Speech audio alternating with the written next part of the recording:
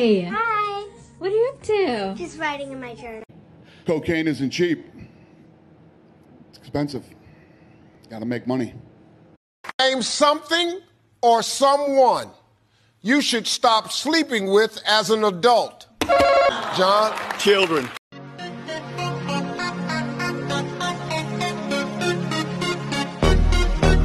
Do life in prison or let a horse smash you from the back to set you free? Man, you could you could have said five months in prison. That horse smashing me. Better yet, I'm smashing the horse. Enthusiastically. Imagine if that was your pee pee. Huh?